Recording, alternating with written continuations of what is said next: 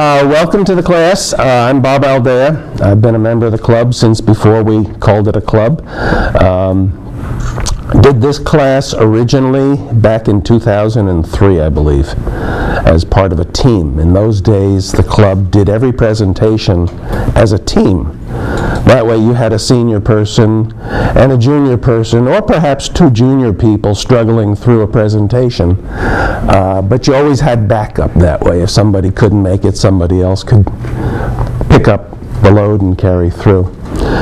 So, it hasn't been updated a whole lot since then, so we're still working with antique routers and we won't get into brand-specific recommendations, even if I do mention some.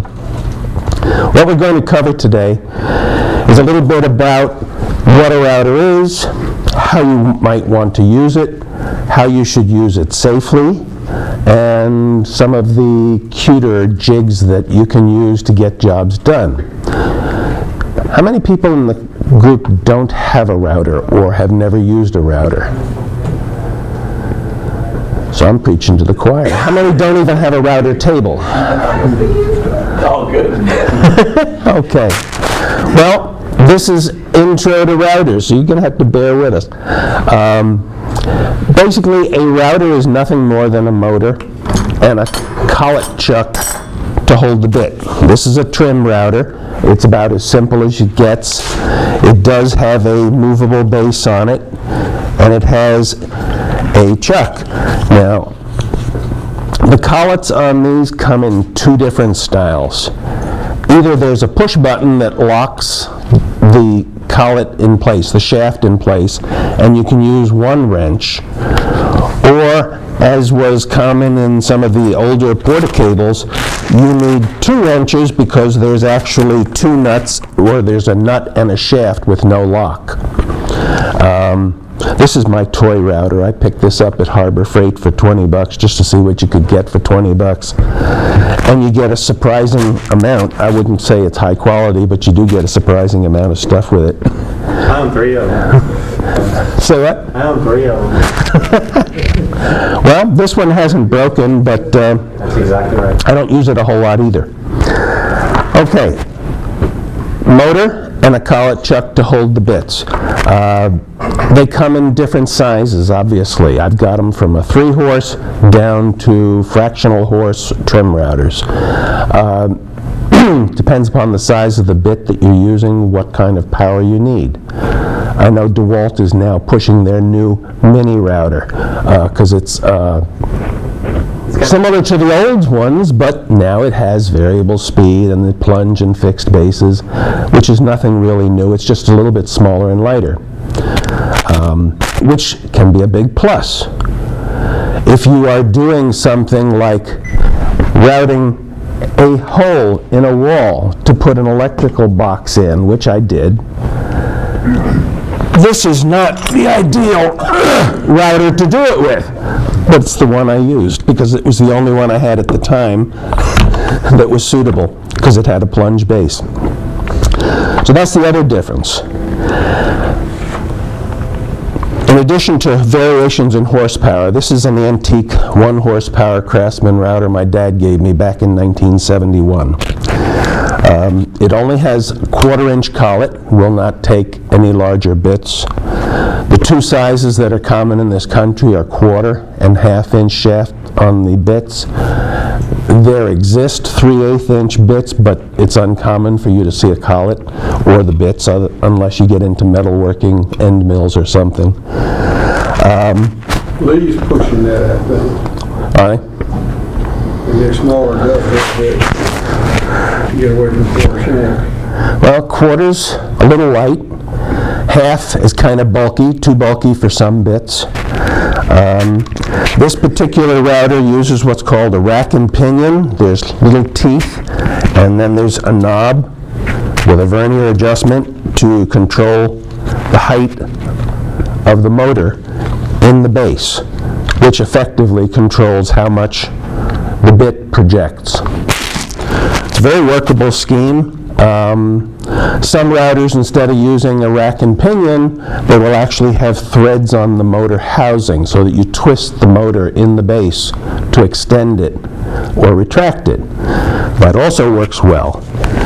The old Porter-Cable 690 was probably the industrial standard for contractors for many years, and that's how it worked. It had all the disadvantages you could imagine, but everybody owned at least one, if not many. Because they were virtually indestructible, they were easy to use. The only power switch was on the motor, so you had to take your hand off the handles to turn it on and off. Um, it did have only quar no, it had half-inch shanks. It would do that, and it had a big base. Um, but it did screw into its base.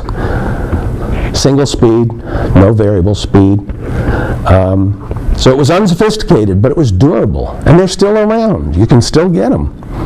Um, so, why would you have a plunge base? Two of these are plunge routers. Basically, it allows the motor to slide up and down, and then you can lock it in place. This one uses a handle. By twisting it, some of the others will have a lever that you operate with your thumb to lock the plunge. Matter of fact, some of them lock when you press the lever, some of them unlock when you press the lever so that they lock routinely anytime you're not touching them. Uh, plunge routers are really convenient for stopped cuts where you're making a groove that doesn't go from one end of the piece to the other, but needs to stop and just go for a, a short section. In which case, you can plunge, move the router, and then stop and release, and the router will retract the bit. Um, I mentioned location of the switches. Most of these are very convenient. They have the handle switch. This one's a a little less convenient than most. This old antique Craftsman has a trigger switch, very handy. Um, This is a little bit less intuitive, but there is a switch that slides up and down when it's not clogged with sawdust. So you can operate that without taking your hands off the handles, and that's safer. Um, This router normally lives upside down in my router table, which is actually in the extension for my table saw. I have a rather compact shop, so table saw is here, router table is here. Um, This router is mounted with a plate. This is pretty common these days. Uh, You can get these plates in aluminum, phenolic, acrylic, a variety of different types as you get into the bigger routers. Thicker, stronger is better. I have an aluminum plate that I haven't installed yet. Um, This one is smaller than it should be for this router, but that helps reduce sagging. Okay, so we have these routers. They hold bits, they have plunge bases, they have fixed bases. What are you going to do with these things? Well, you're going to mount a bit, you're going to cut. The bits that you can get defy description.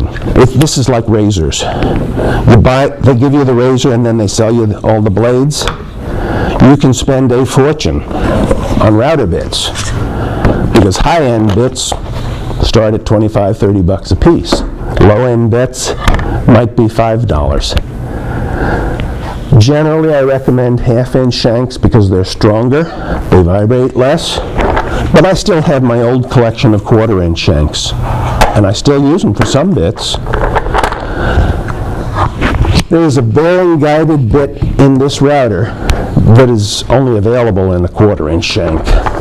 And let me describe that a little bit, rather than try and zoom in. This router bit has a cutter. There's a cutter out on each side. Then there is a bearing on the shank, and the shank comes down into the collet of the router.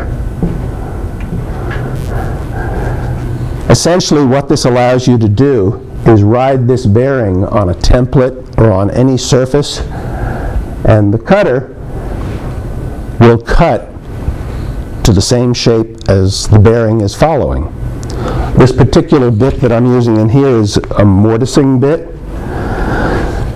Um, You can get other bearing guided bits. Um, This is called a pattern bit. Uh, Has the bearing at the top of the shank. Similarly, you can have shaping bits which cut one contour or another.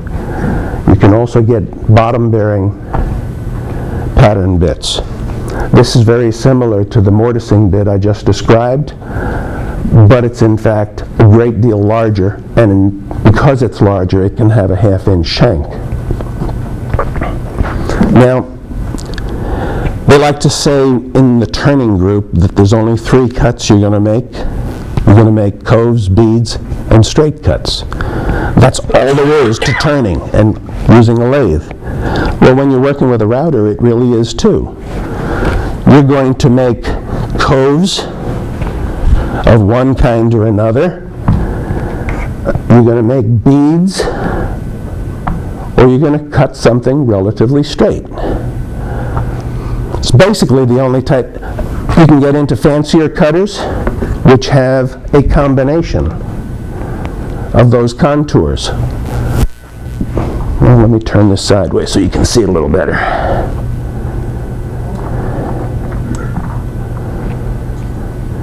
And the co- combination just approximates multiple bits. Matter of fact, you can make complex cuts by using multiple bits. If you had nothing more than some uh, core box or round nose bits combined with a uh, round over, you can accomplish a variety of different curves. Now, once you have bits that can cut the wood, you have to guide them through the wood in some way, shape, or form. You notice all of the bits that I brought out so far have bearings on them. Um, well, all but one.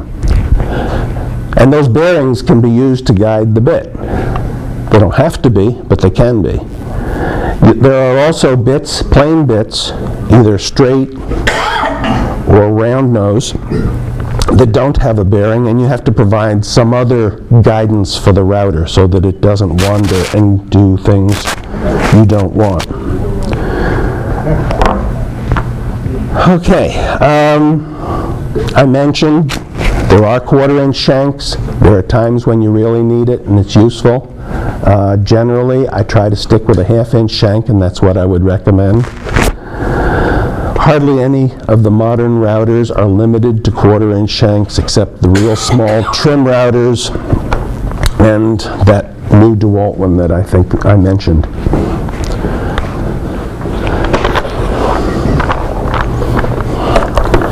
Now, how are we going to guide a bit? Well, one system that was developed, I guess, by Porter-Cable, since they use Porter-Cable's name every time they refer to these, is guide bushings. And these guide bushings will fit into the base of a router and allow you to guide the bit. For instance, on this router, there's a recess. This guide bushing fits here. Once the router bit has been installed, you now have a bearing surface, and then the router bit can make the cut. So that is one way to guide the bit.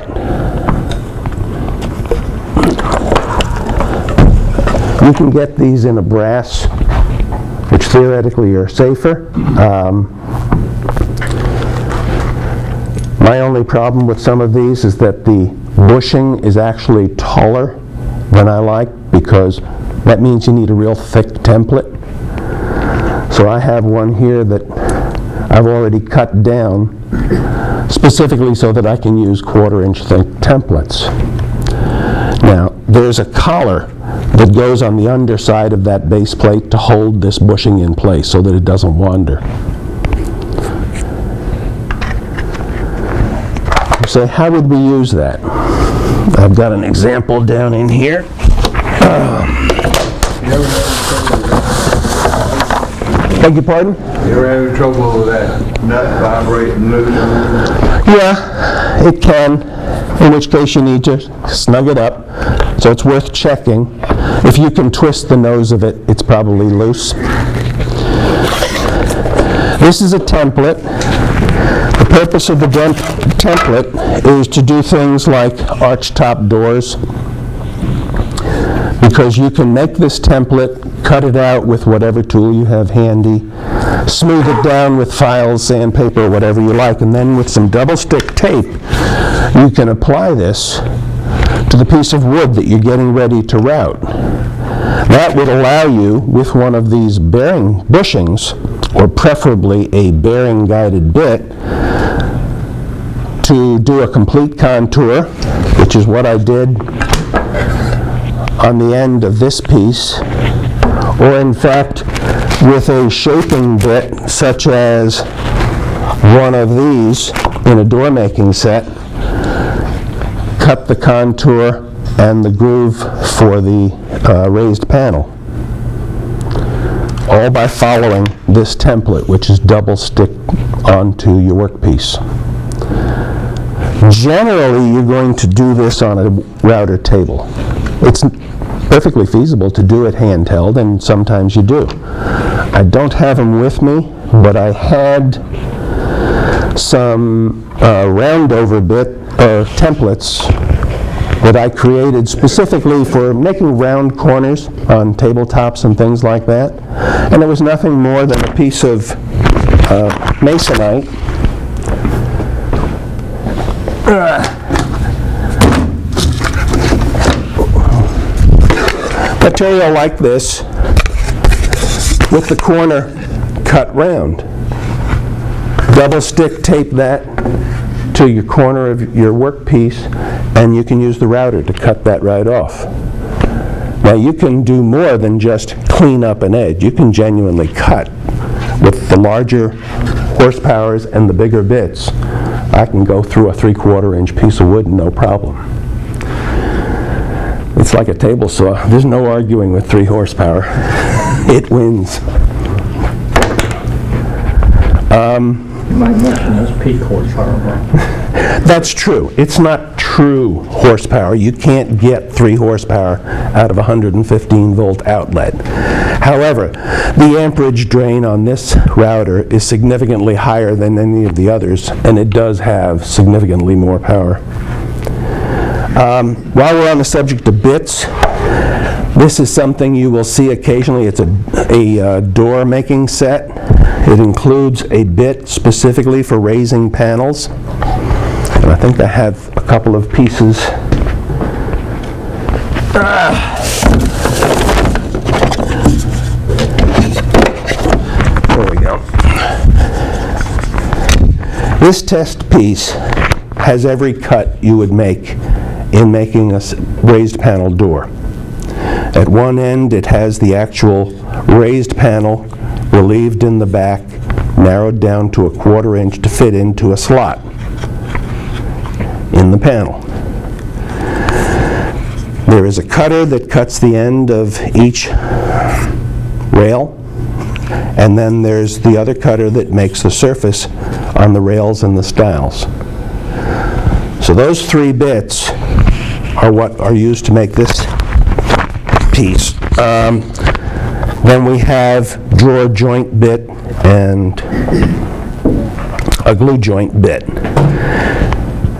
Now normally, a raised panel bit like this, being as large it is, as it is, is going to be used in a stronger two to three horsepower router.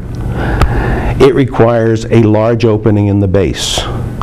So if your base is small, you're not going to be able to fit this in there. You also need variable speed because you can't run this at 25,000 RPM. That's just too much for a bit this size. You're going to do this in a router table. This is grabbing enough wood to where if you were doing it handheld, it could easily get out of, out of control.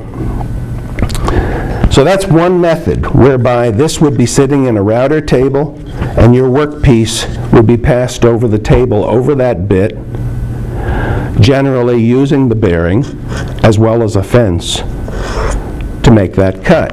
There's another way, which is a little bit less common, but if you're working with a lower horsepower router and you're determined you're going to make raised panels, this is called a vertical panel raiser.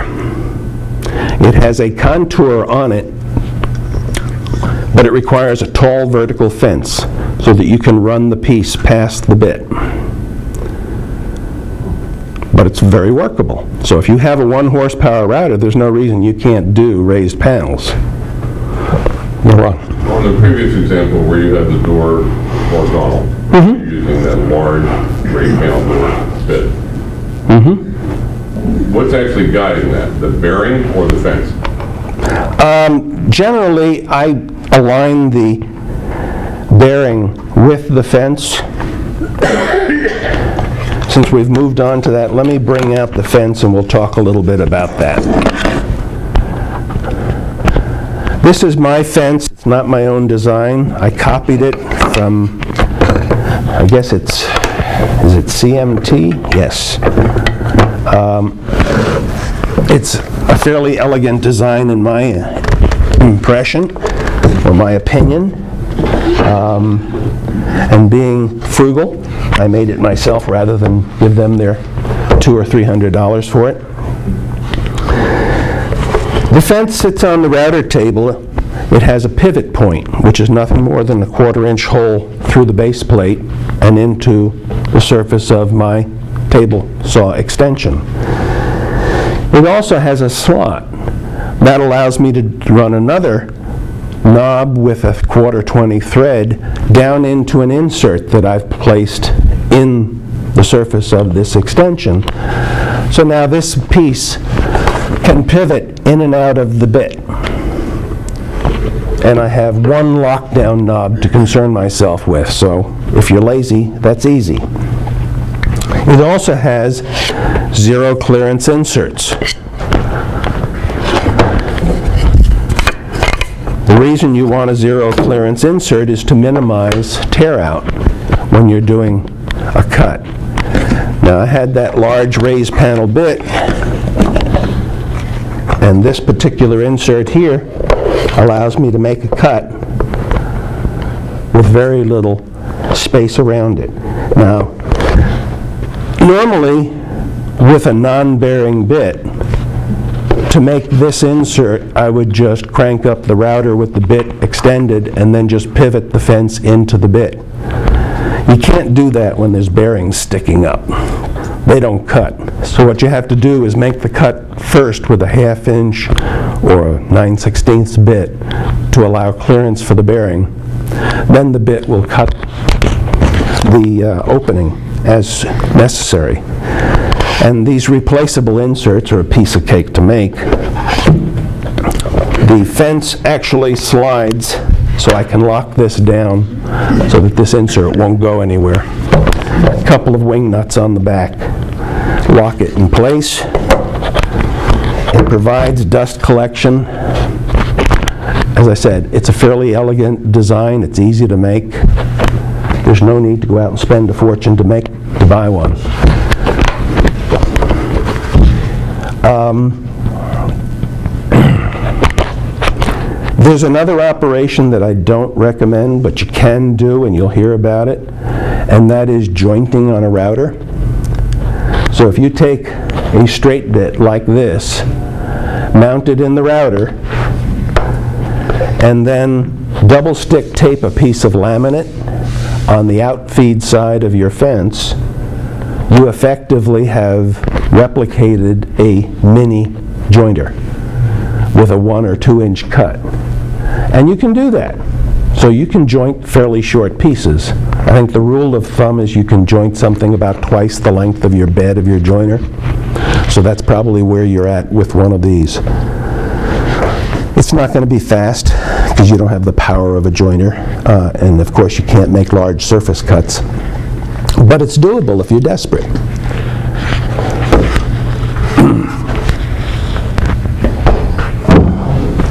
the quality of your joint depend on the quality of your fence. Um, to some degree, the fence needs to be square, it needs to be smooth. That one's unfinished MDF. It's been on that router table since, I don't know, 98, 99? As long as you keep it dry. Pardon? Why don't you keep it dry. Yeah, yeah, well, it doesn't rain in my basement too often, but, and I try not to spray water from the sink, but, I actually used a straight bit to joint the edge of that nine-foot board, but I had to use a straight edge to run the router along there. so you s- used a straight edge and a bearing guided bit? Bit Or, run along the edge the Okay. that board. all right, we've mentioned uh, bearing guided bits. Let me mention another option. Um, A lot of different routers will come with some sort of a guide fence. Even this little $20 piece of junk has one. And essentially, this fence mounts to the bottom of the router so that when you're doing handheld work such as trimming the edge of a countertop, this will work and it will guide the router. If you have to do curved surfaces, this won't work. So what they offer you is a bearing which also mounts to the side of the router, and you position this bearing so that the surface of the bearing lines up with the surface of your cutter. Now, it will follow a curved surface and do it well without a bearing on the bit. So this is for guiding a non-bearing bit, which are a whole lot cheaper than bearing guided bits.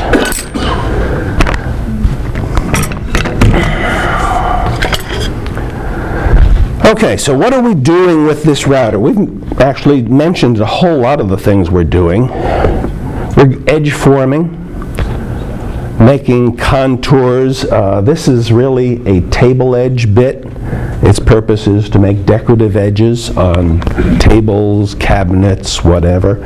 Um, You might be making rabbets on the end of a piece, and although you can do that with a straight bit, a better way to do it is with a rabbeting bit, which I have here somewhere, I believe.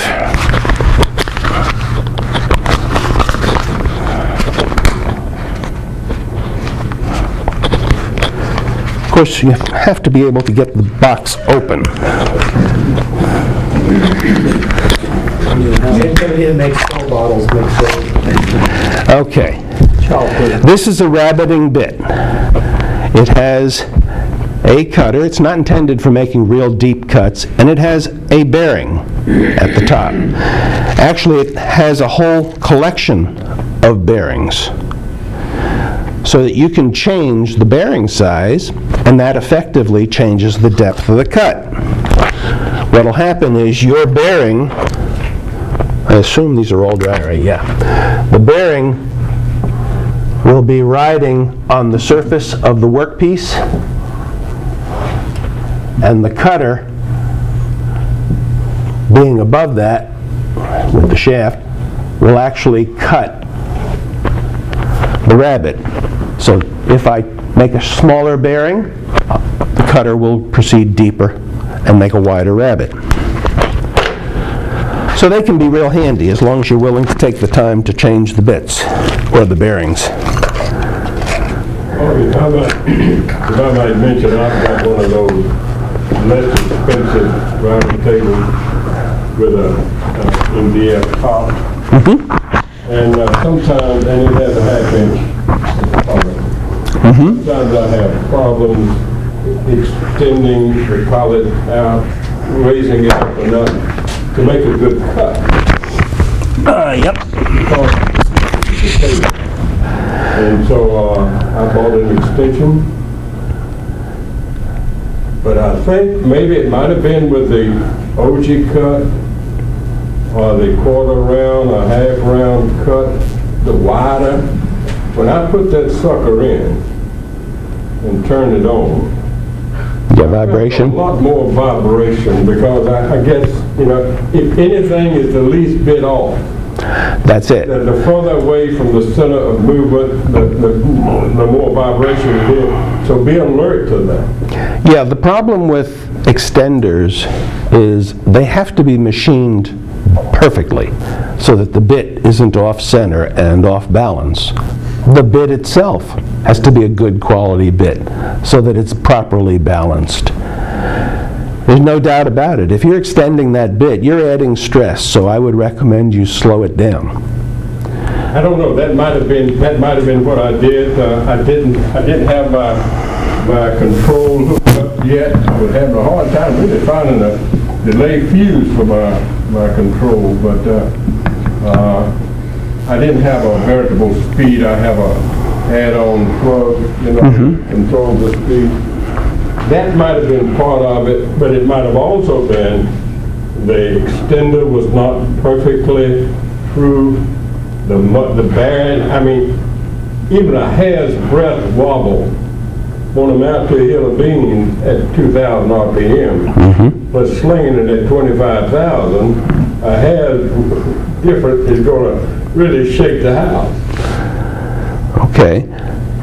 While we're on the subject of extending bits, you will see that there are dramatic differences in the length of the shaft on bits that you will find in the marketplace. I did a field test of a bunch of Porter-Cable bits when they first brought them out, and they were universally short, just barely long enough. What you have to remember is that the collet itself is only so deep. So beyond the collet, there's no advantage. So you really need about one inch inserted. Beyond, how do you tell how far is one inch when you have a long shaft? Well, you might want to mark it. You might want to pay close attention, but as long as you get about one inch of that shank down in there, you're getting as good a grip off that collet as you can. Now, if the bit is out of balance, same story as with an extender. The farther out it is, the more you're going to feel vibrations. You will sometimes hear people say, oh, you just drop the bit all the way in. Well, don't drop the bit all the way in. I don't know if you can see this on the camera. There is a rounded edge on that bit. The bit is shaped like this. The shaft comes down like so. But there's actually a slightly rounded piece where it was machined. If you drop the collet all the way in to where it's actually on that slope and tighten it, a little bit of vibration and the bit moves up and now it's loose. So you definitely want to stay away from that little uh, rounded section. The Porter-Cable bits, in their wisdom, said, oh, we'll solve that problem. And they came out and they put a sharp step in it, thinking, oh yeah, that'll fix it. And that'll allow precision positioning of the bits. The problem is, is that when you have one of these collets, it has a nut. And that nut typically sticks up beyond the collet. So now when you drop the bit in there and you start tightening the nut, the bit doesn't necessarily drop down, so it's no longer resting right on the collet, so precision's out the window. You do get a good grip, but to think that, oh yeah, that's precisely the same height every time whenever I put it in and I don't have to measure, not true. Um, CMT, I forget the guy's name, gives a demo on door making with their sets. Sommerfeld. Marc Sommerfeld. And one of the things he does is he takes a little space ball, drops it down in the router, and he drops his router bits down into that collet. It hits on the space ball, he tightens the collet, and he says, this bit will always be in the right position, and I'll change bits, and they'll all line up. It seems to work for him. I don't have a whole lot of faith in that concept, but he gives demos and his pieces fit together. So if you want to buy CMT quality bits and pay their prices, that may work for you. If you're frugal and you're getting your bits from China or wherever, I wouldn't recommend it. Well, I've got two comments on on placing those bids. One is, uh, you should never uh, allow the shaft to bottom out. That's true. Uh, because the collet is actually, from an engineering standpoint, designed to have a certain amount of slip in order for it to work. And if you bottom the shaft out, when you go to tighten that collet, uh, it, it cannot grip completely on the shaft. So that's sort of a dangerous situation. Uh, You should, the the recommendation is to to bottom it and then back it out like about a millimeter and then tighten it. And that way the collet can actually function the way it's supposed, it's designed to function. The other thing is, uh, if you, if you bottom it out, uh, there's a pretty good chance that you're gonna lock down on that bit and not be able to get that bit back out. If you've ever had one stick uh, in a router before, It's you know exactly what I'm talking about. Uh, If you always back it out slightly before you tighten it down, you won't have that problem. And what some people do, instead of using a space ball, uh, they'll get a little O-ring that fits Mm-hmm. the hole, and they'll drop an O-ring in there and just leave it in there. Mm-hmm. That gives you just enough flex to keep it off. Yeah, as he mentioned, sometimes they'll stick. You loosen the collet and you feel like everything should be free and that bit doesn't want to move. Well, if you've allowed some clearance, like he says, you can just give it a little tap with a block of wood and the bit can move down and that loosens it and now it'll come right out. What about a rubber, small O-ring? That's what he just suggested. Oh, Yeah. but that's what it is, oh, yeah, yeah. I didn't get Is it, uh, DeWalt have the- the self-ejecting feature that the OEMs have? Both of the DeWalt's do. That's a unique feature of the collet um, in some manufacturers. When you're loosening the nut on the collet, the collet stays tight.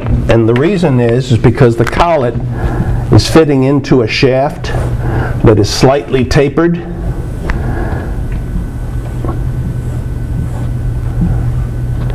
And once it jams down in there, it doesn't want to go anywhere. Well, what they did is they put, I believe it's a lip on the collet itself. Can't remember whether it's a, a is it a groove? Because the nut actually has an engaging groove or ring or whatever, so that when you loosen the nut, it spins free, and then if you continue to turn it, it actually impacts resistance because it's now trying to push the collet free. And you'll need a wrench to get it the rest of the way, and then it'll actually push the collet out. So both of these use that. Uh, None of my others do. There's another solution to that depth cut question too. You mean ex- for extension? Well, to solve that problem, get a shaper. Or you can get a router that is designed to extend further. Some do. Um, Most of these, the collet and nut will come almost even with the base of the router. There are a couple of brands where that motor will actually come up and expose the nut and the collet, which means you can cut deeper. It also means you can easily get a wrench on it from the top instead of having to reach under your base plate or through the opening or however you're doing that. But you can't, your collars interfere, to pull the cable style collar. Oh, yeah, you can't use it with that. Yeah, you can only extend so far when you have one of those in place. Yeah, Ron? The router that I use is a portable tool. Mm-hmm. Not have it in a table. Why are we not losing, why are you not losing usable length and the thickness of the table? Is it because the plates are always whatever they are, quarter inch? What happens is you have a base plate on any router, and they vary in thickness. This one isn't much more than a 16th of an inch of phenolic. Uh, This old Craftsman's probably 3 16ths of an inch.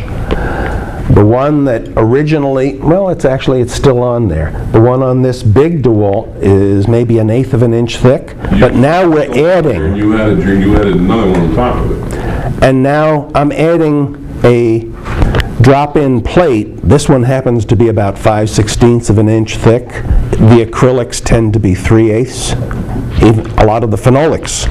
This is a phenolic here. It's about 3 eighths of an inch. So you've lost that much cut. If you're making a homebrew router table, which I strongly recommend, and you're going to use an old sink cutout or whatever, you really don't want to use it at a full three-quarter thick where the router mounts. What you want to do is, using your router or whatever, uh, provide a recess so that this is maybe 5 sixteenths. You don't need that much strength because this isn't going to support the weight over 12 inches. It's only an in, half an inch, three quarters of an inch from the edge. So that's thick enough. And then the router will sit down in here and you will lose only 3 eighths of an inch or so in your bit penetration. The other thing on what you're saying, I have a, I have one of those DeWalt's with the three different heads, three different bases, and you just mm-hmm. take the motor out, and then I've just got a lift, and you just put the bare motor in the lift, and then that way you don't lose anything because you don't have that stock base on there. Mm-hmm. You don't come all the way up and put the motor through the table.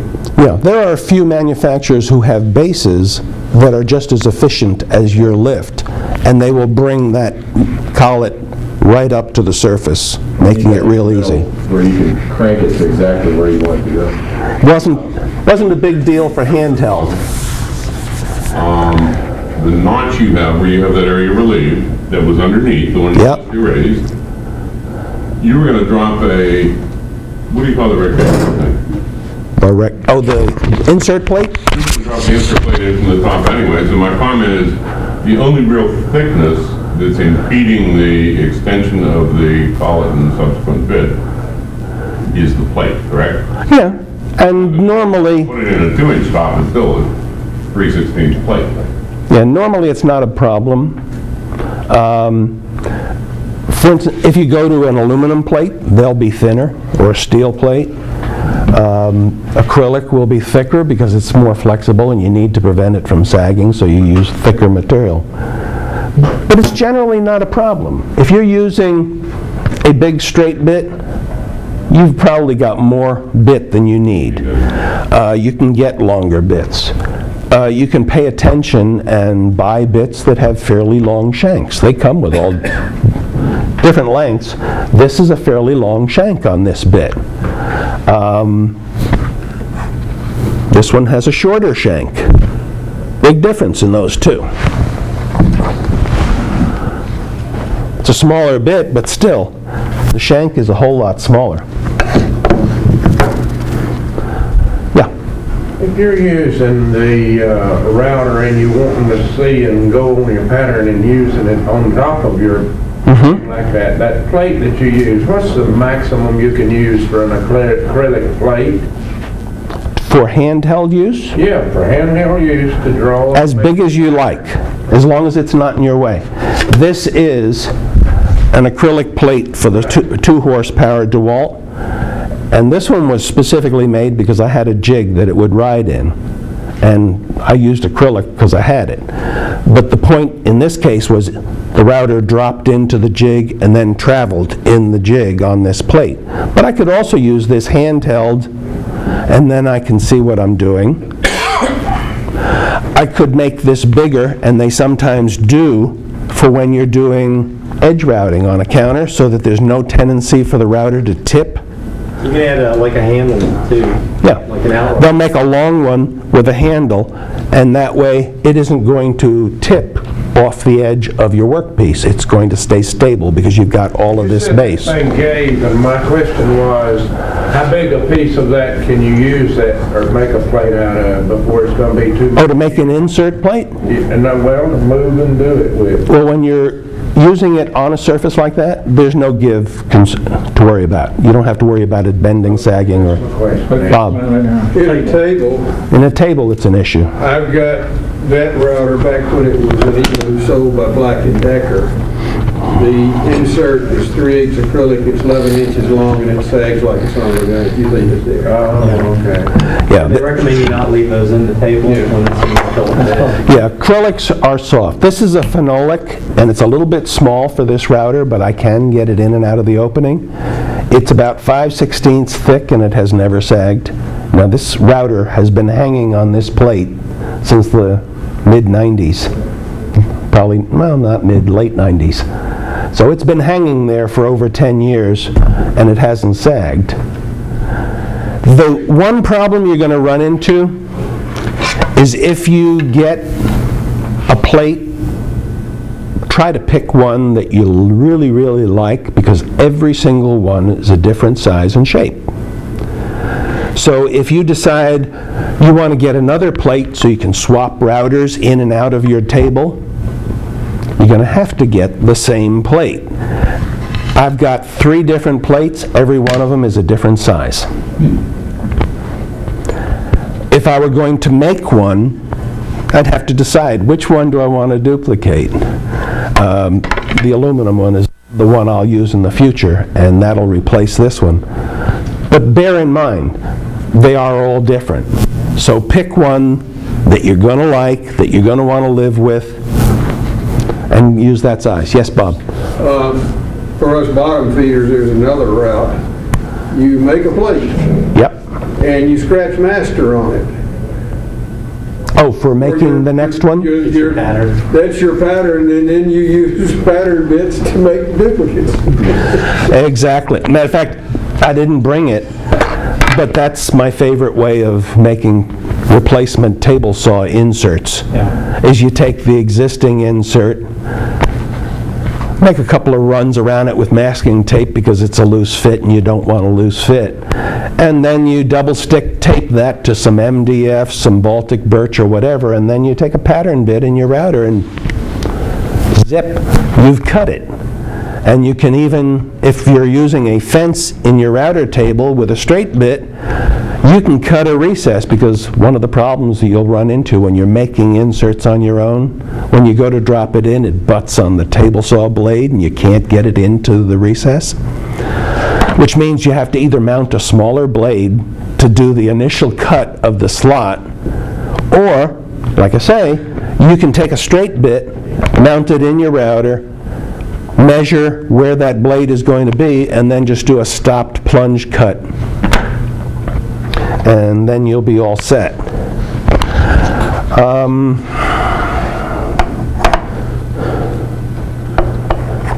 As you can see, I have an assortment of bits. I didn't bring them all, but a piece of 2x4 and a 13 millimeter brad point bit lets you make as many router bit holders as you would like. You can buy fancy cabinets if you like with tilt-out shelves and all kinds of goodies, but it's pretty simple to whip up something, and like I say, don't try to drill the holes with half-inch bit and then get half-inch shanks in and out because it'll be too tight. And when the humidity's up, it won't come out, and when it gets dry, then they'll flop around. But 13 millimeter bit gives you enough clearance to where they slide in and out very nicely. Okay, um, if there's nothing else you take away from today, I want you to remember something that I learned from Mark Barr, who gave this class, I don't know, six months ago, but I got it from him when Stone Mountain Power Tools was down here on Jimmy Carter back in the mid-90s, and he gave a presentation. Routers go left. Keep this in mind. A router will always try to turn left when you're handheld routing. The reason is, because when you're looking down on the router, that bit is turning clockwise. So if the bit is turning clockwise and you are cutting into a workpiece this way, what happens as this bit comes in, it actually digs into the workpiece. The reason you like that is because you're using some sort of a guide or a guide bearing or whatever, and it keeps it snug up against the guide. So that means if you're going to cut, let's say you're cutting an opening. Didn't you diagram backwards there for what you're saying? No, no. Here's your tip coming around like this. Mm-hmm. And as it's cutting, because you're advancing in this direction, that router bit is trying to carve out wood. That creates a, force in this direction, which holds it in tight. Now, we'll talk about the other direction next, but, so knowing that this router is always going to want to try to turn left as you advance it, if you're coming around the inside of a piece, you always want to go counterclockwise. If you're routing around the outside of a piece, you're going to go, or excuse me, that was clockwise. This is counterclockwise because the router is trying to turn left. This is also works in your favor when you flip it all upside down and you work it on a router table. You've got a bit and you've got a fence. Well, since we've turned the router over, it's now turning in the opposite direction, but it works the same way. Here's your workpiece. And as you're feeding it, well, let me get the cut on the right side of that bit.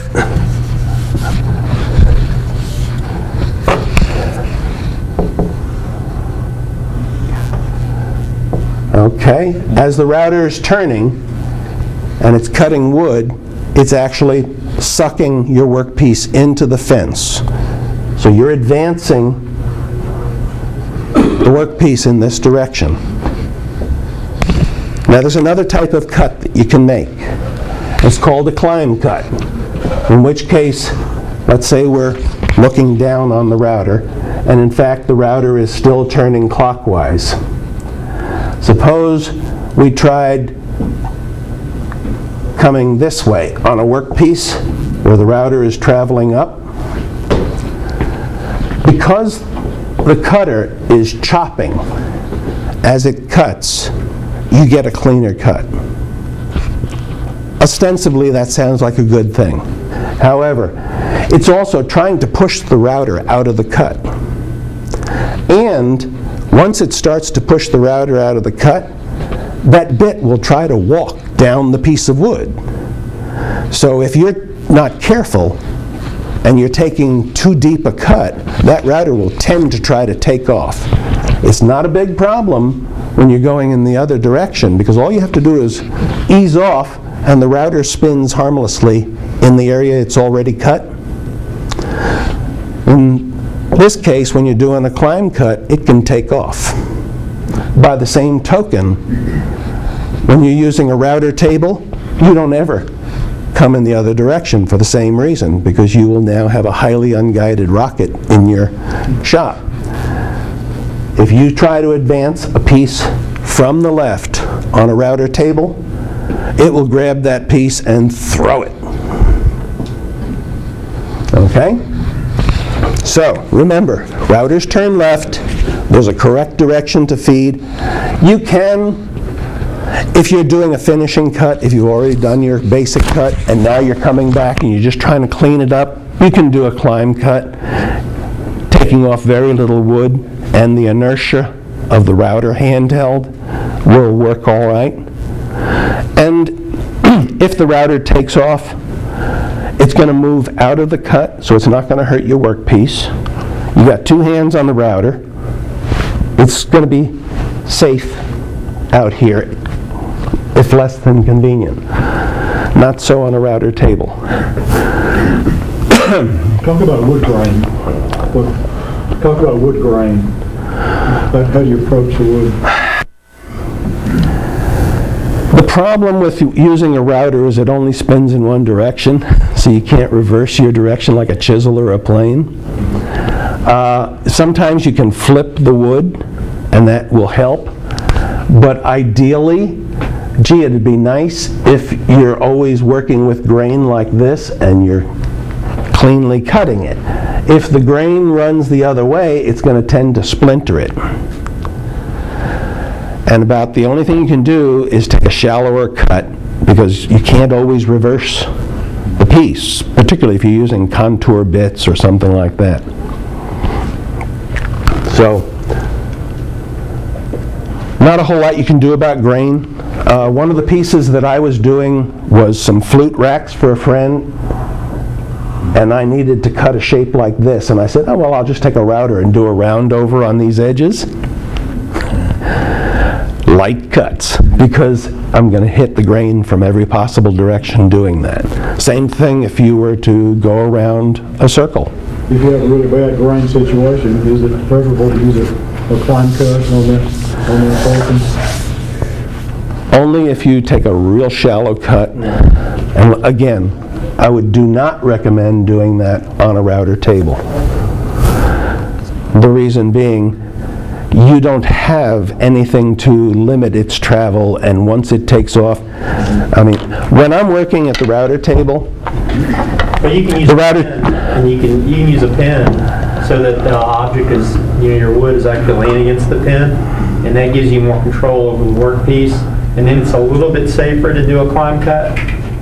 a little bit, or if you have a holding jig that will hold the piece so that you can get a good grip on it and control it. Now, normally in my shop, I'm sitting, standing here at the router table, and on the jointer to my right are these two push blocks so that I have them easily accessible.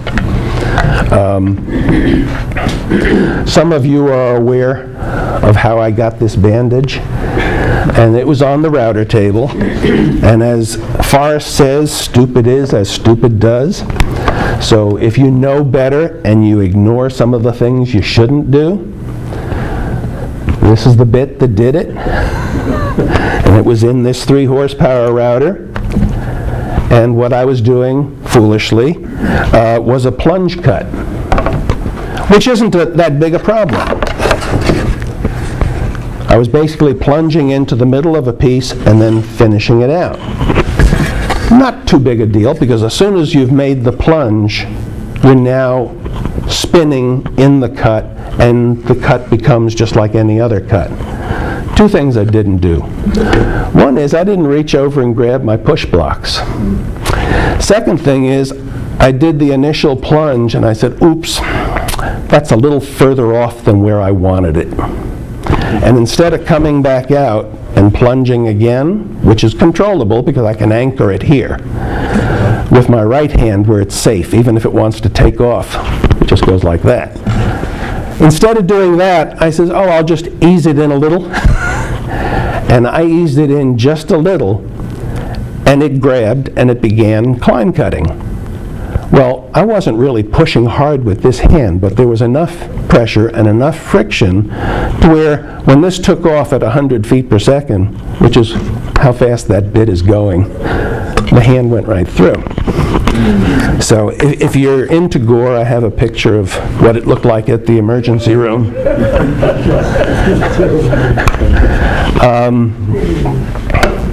There is a solution for that now, but it's pretty expensive. Uh, One of the companies that we're associated with here now, they make a router lift that uses a motor, and it has a sewing machine pedal.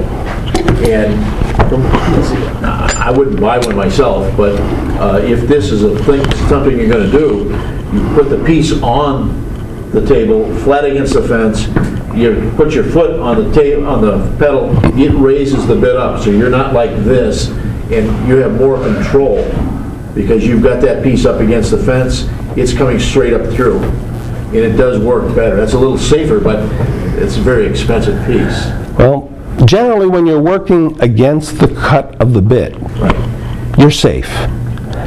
The problem occurs when you allow this hand to relax its Well, pressure there's and also ease backward. too. You might think that he's using a big bit, and I'm sure that that was a pretty nasty cut, but I've had the same problem with an eighth-inch bit. And little tiny little eighth-inch bit, you'll get away from it. It's amazing. These, you know, we think that, well, we're big guys, and You know, the table saws we are afraid of, but that little eight-inch bit, in a router table will do the same thing if you got his finger. Problem is, So- that sort of thing happens before you you realize what's Before you going can on. think. 100 feet per second. It's a fraction So 12 inches was a tenth, a hundredth of a second. It's that quick. It's real close to the speed of the tip on a table saw. I want to mention, this has what's called a Router Raizer, and this allows me to adjust the bit penetration from above the table. Time I bought this, nobody had this built into their routers. A lot of the newer routers come with a base with this built in. Really, really convenient. But if you go hunting on the web, on the internet, you can find old episodes of the Router Workshop, which was a Canadian show that was broadcast on PBS. And you'll watch these two guys, father and son team, Bob and Rick, making anything you can imagine with a router. Super simple setup, super simple tables, super simple fences, nothing fancy. And these two guys knew what they were doing. It's an excellent, you used to be able to view the episodes for free on their website, but now they're trying to sell them. So you have to hunt around, but there are some locations where you can find the woodworking channel and a couple of other locations where you can actually view the old episodes. You can go to their website, thewoodworkingshop.com, and they have lots of little clips, hints and kicks, how to make and use jigs, how to do this safely, how to do that. One of the best shows I've ever seen on routers. One final is on jigs. I mentioned that these bushings are real handy. This is a shelf pin drilling jig. What I did is I took used the spacing that was already built into a piece of uh, pegboard and my drill press, and I drilled half-inch holes where the original holes were. Then I take a half-inch router bushing, put it in my router so that it just drops into these holes. Being a plunge router, I then plunge the router, it drills a hole. Drills a cleaner hole than a twist bit will make, and then you just move to the next. You clamp this a little further down and you can drill more. Um, super simple, it's easy, it's precise, they don't wander, you don't have a bunch of tear out. All you need is one of these bushings and a quarter inch straight bit or a five millimeter if perhaps you're using off-size uh, shelf pegs. But it's a great system, simple to do. Another thing you can do is you can make yourself a trammel. A trammel is for drilling hole, uh, circles, cutting circles. What I did is I took a piece of masonite scrap and I drilled three holes where the mounting screws for my router go, chamfered them, mounted the router, took a half-inch bit, drilled right through this. So now I have a piece of wood with a half-inch bit sticking out. Then I deci- decided where I wanted the radius. Now the radius can be out here for a large circle, and what's going to happen is I'm going to use an aluminum roofing nail, which happens to be eighth inch. Stick that down into a piece, and the router will pivot around it. This, if you've got a 60-inch tabletop that you need to put a contoured edge on, this is one way to do it. It'll round that table. Suppose you only need to do, oh, a 5-inch circle. A little less convenient, you got to put your pin in before you mount your router, but it will pivot around that pin, and you can do small circles as well. Don't have to go out and spend a lot of money to do it. You need a different dimension, drill another hole, wherever you want it. It doesn't care. It doesn't have to be down a straight line or anything like that.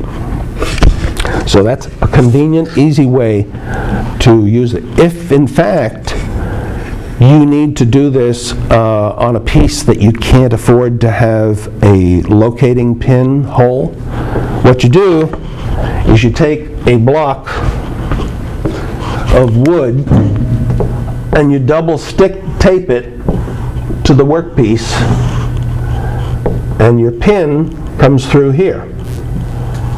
And then you have an extension arm, spacer, and the end piece that holds the router. The router will be up here. So now you've double stick taped this to the centerpiece, and it will pivot just like this does on a pin. You can do a whole lot of this uh, inexpensively. One of the problems that you run into is if you want to route a narrow end on a rail, it has a tendency to want to do this, so you need some way to keep it steady. They have some really fancy, slick, ultra-high molecular weight plastic sleds you can buy. Or you can just grab a hunk of wood, stick a handle on it however you want. This one's just a little fancier than it needs to be, but it's nothing more than a dowel stuck in a hole with something stuck over it. And this becomes not only a backup block, which allows me to minimize cutout, tear out, but it's a safety measure. I just push that through on the router table up against the fence. Real simple, inexpensive. Um, I know we're past time. If anybody would like to see them, these are test blocks where I took those router edge form, table edge forming bits, and I use them at different depths. You don't have to always use the whole bit. And if you only use portions of the bit, as in how far do you extend it, you get different contours. So these were samples that I made just to see what I could do with these bits that I picked up here. Would you adjust your depth with the, I use the Router Raizer. If you didn't have a Router Raizer, uh, then you would have whatever adjustment is built into your router. You might have a plunge router and you'd plunge it and lock it. And he and Vickery uh, visited my shop, and he saw my router table, and he asked me how I adjusted the height of my bit. And I simply loosened it. I remember that. He turned green. He said that thing goes through you before you even knew it was loose. Uh-huh. And he- he, he corrected me on that. Yep, but if you have the router on a plate, you simply lift the plate and the router up out of the table if it doesn't have a razor device, and you readjust the body of the router. Whether it's a fixed base or a plunge base, you simply adjust the extension. There's a, uh, another trick is to actually move your fence. Uh, The the fence he's got that's got the pivot on it, you can sneak up on the cut. Mm-hmm. So you can expose less of the cutting surface on your first pass, and then move your fence back a little bit. Do your second pass, which will take more material, mm-hmm. and end up on your bearing surface. So especially if you've got uh, a smaller router, you know, like like a one and a half horse, it allows you to make, um, you know, the same kind of cuts that you could on a larger router uh, by sneaking up on it like that. So, what we've covered is a little bit about the routers that are out there, uh, methods of adjusting the height of the router cut, whether you're handheld or in a table, uh, the guide methods, whether it's a router mounted fence or a table fence or a guide bearing that isn't mounted to the bit. Uh, You've got a lot of options out there. You can spend a fortune on bits and accessories, or you can fashion a lot of them yourself, and they will work every bit as good as the commercial ones. What's the other jig over there, Which other jig? Oh, over on the wall, yeah, well, way back, oh, well, I won't even get into that. Way back when, I decided I would build this super slick, fancy um, dado jig for doing things like making dados for shelves in cabinets, and it's adjustable. It's adjustable in width, it's adjustable in length. Now, the width is adjusted to suit the router that you're using. And essentially what you're going to do is you're going to set this space so that the router travels through here. And if there's any wobble room, it's because you wanted a wider cut than the bit you're using. For instance, I could make a three-quarter cut with a half-inch bit by simply leaving an extra amount of clearance. Go one way up, one, come over, come back, and you're done. Sounds good in theory. It's more trouble than it's worth. Um, I made it. I did use it. I have never used it since. The method that I have learned to use is with this mortising bit that's mounted in this router. Clear some space here.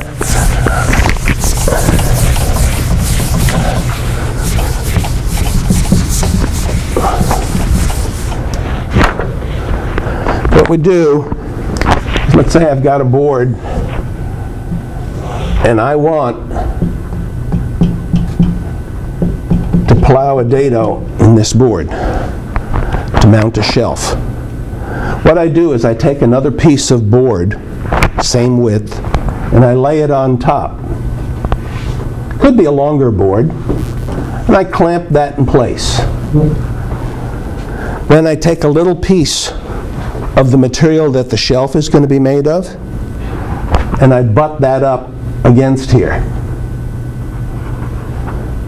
Now I take a third piece of wood like this, butt that up against the shelf segment, clamp that in place. When I remove that little se shelf segment, there's a groove. Well, this bearing bit, remember, has a bearing, and below that, it has a cutter. So I can run this bearing through that groove between these two pieces and cut. If I need to cut deeper, the cut I've already made provides the surface for the bearing. So I just extend the bearing a little, the bit a little bit further, and I can plow this dado to whatever depth I want. It is going to fit precisely. And because actually I normally use a piece of shelf or a spare shelf to do this, it lines up, give me a perfect 90, and everything lines up neatly. It is just so much simpler than messing with that complicated jig. And it's precise. Matter of fact, it can be too precise. You may need a little helper to knock those shelves into place when you do that.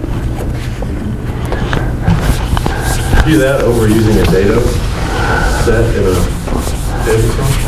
If you are building a entertainment center with six-foot-high sides and you want to put dados in for shelves, that's more than you want to try and maneuver on your table saw. So now you're looking at handheld routing because the piece is just too big to get up on a table and safely manage. That's the primary reason you're going to do handheld routing, because tables are so convenient.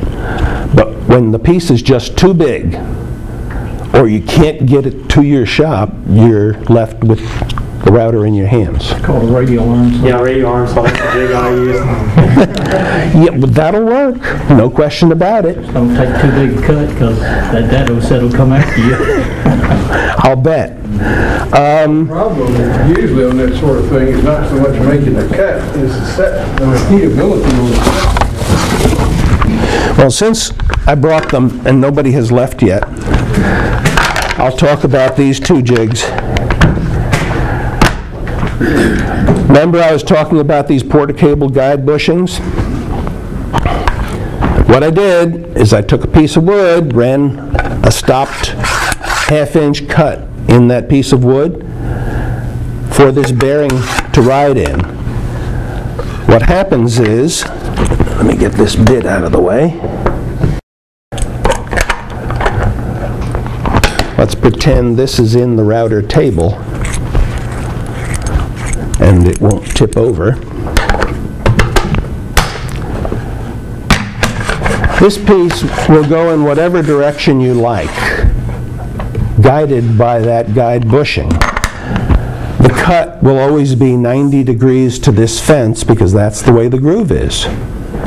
So what I've done is I've made a box joint jig that will actually, I'll use a quarter inch bit in there, and I use a piece here to prevent tear out. Now normally on a table saw you'll have a sacrificial fence to prevent tear out because the bit's tearing through the workpiece. Well with a router bit, because it's spinning, it wants to cause tear out on one edge going in one direction and on the other edge going in the other direction. So I have a plate that I will put in front of the workpiece, clamp it down snugly, and it will protect and prevent tear out on both sides because I have the back fence and the front fence. And if you've never used a box joint jig, you simply make a cut, step it over one onto the little peg, make another cut, and keep going for whatever width of the piece you're cutting. And I, It's not a one-on-one topic, but I just, for the first time, used, I've got the Incra for the big setup with the router table. Mm-hmm. Cut the first dovetails I've ever done with that thing, and it is amazing. I have two dovetail jigs, and I've never used either. You stack, just like that, you stack the boards and cut them all at the same time, you don't have any tear out. and it's all- Yeah, well, normally if I'm doing pieces, I'll stack a couple.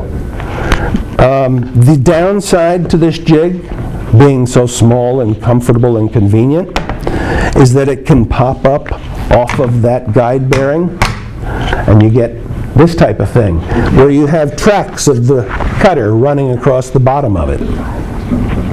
So bigger and heavier might be an advantage in that case. But again, simple way to do it. Yeah, you could cut box joints on your table saw. Uh, I have a jig for that. But this seemed like a slick thing, and Mark Barr was showing it one day, so I said, I gotta go make one of those, so I did. I've actually used these a few times.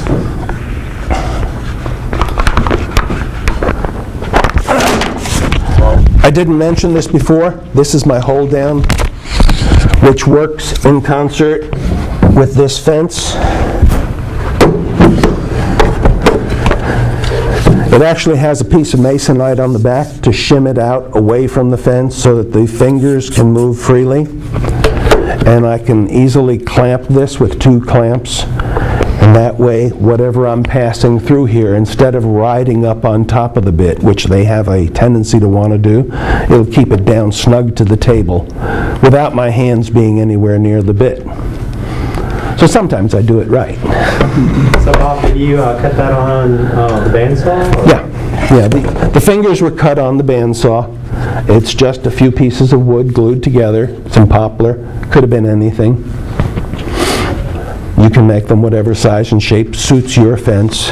Or you can spend a bunch of money and buy the plastic feather boards that they I have, Or you scrap acrylic, and they make, it's nice and flexible.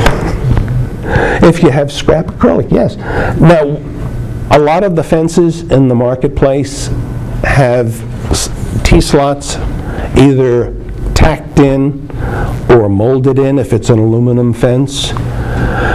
The aluminum fence probably works just fine for clamping feather boards. I'm a little leery of using a screwed-in T-track to do that because any real pressure on it is liable to lift the T-track out of the fence.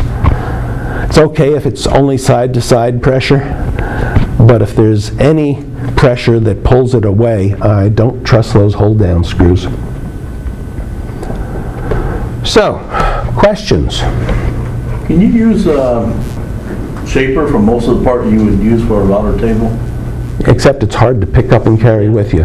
Well, how do you use a handheld too? That's what I mean. I'm just saying, if you've got a a router table at your shop, A shaper will do everything a router will do, and it will do it uh, smoother, faster, uh, more conveniently. It's just a question of how many people are willing to invest in a shaper and shaper cutters.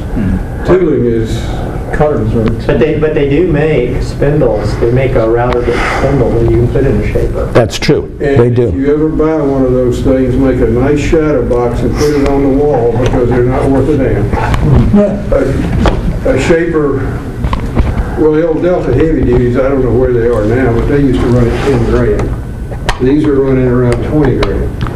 Yeah, of course, they're swinging a 3-4 inch bit, too. Exactly. Yeah, so it's, Not if, not if you got a spindle adapter in it. Now you're running your router bits at half the speed they need to be most of the time. That's true. Um, You will occasionally see recommendations to run a router bit in a drill press to to make some cuts, and the drill press does not go fast enough, and it is not designed for side loads, so I would, again, recommend you avoid doing that. Ron? Um, I should have asked this earlier when we were talking about direction of travel. We- We've established if there's a, uh, if the router's mounted in the table, you're using a fence, you feed the stock from right to left. If I'm using the rou- the router as a portable tool, I'm going, I can't do it that way, counterclockwise. Depends upon whether you're on the inside or the outside of the piece. Well, I'm always facing the piece if I'm using a portable. If Are you on the outside of the piece or the inside of the hole? if I'm on the outside of the piece. But my question is, the piece is a rectangular cutting board, and it's not an end grain cutting board, it's a long grain cutting board. What are you gonna do first, the long grain or the end grain? End grain. The same as you would with the hand plane. Not with the hand plane, you wouldn't. Yeah, you would prefer to do your end grain first so that you clean up your tear out when you make the side grain cut. the The grain. the metal. answer is, as long as you have a a sacrificial block on the edge of So your it end grain, doesn't it doesn't matter. Just, just make sure you always have a block on the end, so that when you cut against it, you're, you're going into another solid surface, and it prevents tear out. Remember, routers turn left. So when you're advancing that router, you always want your workpiece on the left side of that cut when you're working handheld. So on the inside, you go clockwise. On the outside, you go counterclockwise. Routers turn left. The old Elu's in there the of what those do. And my 690s have got an arrow like stuck right on top, so that I know left Oh, the right. direction? Yeah. Because it's easy to forget. Yeah, actually, I debated long and hard over whether to get a standalone 3 horsepower plunge router or whether I would get the old 690 dual base kit that was available at the time. And I, I bid for the 3 horsepower. And there have been times I thought, boy, I really wish I had that 690 dual base because it's a handy, handy The best thing router. about the 690, because it spins inside the base, your, your collet is always dead center. So it doesn't matter what direction you hit the workpiece, it's always dead center to that base. Whereas these that are the, the ratcheting type, they tend to, depending on which side of the base you're on, you can have some variation in the distance from the center. Well, the bases can vary, and a lot of times, the phenolic base that's screwed on protrudes beyond the aluminum casting. Is it really going to center your bit? Is it equidistant from the bit to the outside all the time? Don't know. It depends. You, you may get lucky, and it may be, or maybe not. You may have rough aluminum castings like this, where the base is actually slightly smaller than the aluminum, so you're riding on the aluminum on any fence. Uh, It has two flat surfaces. Are they equidistant from the center of that bit? Don't know. Don't think I would trust it. There's lots of guides you can use, but when all is said and done, measure, make test cuts, try it again. Take your best piece and make your first cut on it. Make a cut on scrap, confirm that it's really going to cut where you want it to cut, and then go ahead. Hey Bob, have you had any problems with the switches on this, on the door? No. No, um, the only problem I've had with any of these is that the bearing went on the black and, or the Craftsman from being mounted in a table. It didn't like being upside down, eating sawdust, so I had to replace the bearing. The problem I have with the one that's in the table now is that my dust collection has a box under the router to keep from a all the sawdust collected. It establishes a swirl pattern inside that box from the airflow, and that swirl pattern tends to pack sawdust into all the cooling slots of the router and into the switch itself. But I use an external switch. It's just an ordinary wall switch mounted in a box, and I plug the router into the extension cord coming out of that switch, and I just flip the switch. Um, Which, by the way, I didn't bring it because it's a pain in the neck to dismount it. But if you have a standard household toggle switch mounted in a box, if you will take a large fender washer, bend it to a 90 degree, and then either glue it or screw it, you can put a shield around that switch so that you won't ever inadvertently bump into it and change its position. That way you have to reach your finger in under that fender washer to get to this switch and turn it on or off. Doesn't cost a whole lot, it's easy to do. You can get for $30, $40 a power switch for your router that they will sell you, or you can go buy a 50 cent switch and a dollar box and an extension cord and you're in business. Big red safety paddle. That's true, you won't. You can actually buy those for 10 bucks from Grizzly. Oh, the switch, yeah. Yeah, the big ugly one with. Actually, they have it for about $5. It used to be 10. I think you can take the load though. Yeah. It's 20 amp. These don't pull that much. Anything that you're going to plug into household 115 has to be 15 amps or less. You're not going to get any commercial power tools that pull more than 15 amps, and a household light switch is designed to handle 15 amps. You can buy 20 amp switches too, but a ordinary light switch is 15 amp switch. And they're available for less than a buck. I got one other comment. Um, You can buy a, uh, a variable speed device, either as a paddle or as a knob, that'll let you attenuate the amount of power that goes to a router when it changes speed. So if you have one of those, you can use it with a router that does not have variable speed, and it's pretty handy. The only problem with it is if your router is a soft start, soft start router, it doesn't work with it. No. So it's got to be like your, just your regular, standard, you know, cheap router essentially. I don't think you ever get soft start in a single speed router though. I haven't, you seen them? Yeah, um, uh, it's not a Hitachi. It's another, it's one of the German manufacturers. Really? Okay, because they're usually variable speed if they have soft start. Any more questions? Thanks, Bob. You're welcome. Thanks for coming.